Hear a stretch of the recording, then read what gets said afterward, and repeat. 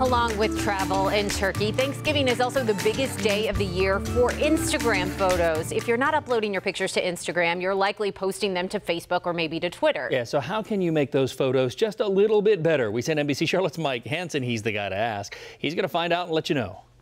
If you didn't make an Instagram post on Thanksgiving, did it even happen? Hashtag Thanksgiving has 14 and a half million posts. Turkey Day is the mother of all days when it comes to sharing pics on the social media website. Are you surprised that Thanksgiving would be their biggest day? No, no, not at all. Steve Biggs is the manager of Biggs Camera. Since 1959, Biggs has been helping bad photographers get better. What is the biggest mistake most people make with their camera? Uh, the biggest mistake probably is not having good lighting. Lighting indoors is often harsh.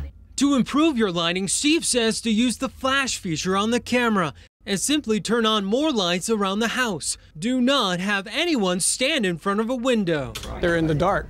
You can't see their face, you can't see anything that they're, they're doing. One more tip move in for a better result. Get close to your subject. Steve says to concentrate on one thing. He says that is the key to making a post interesting. A common mistake people try and put too much into their picture. And once you have the perfect post, some people have them printed professionally. Oh, yeah. Yeah, we get a lot of people coming in to print their Instagram photos. Making the most of Instagram posts on the busiest day of the year for the Grams.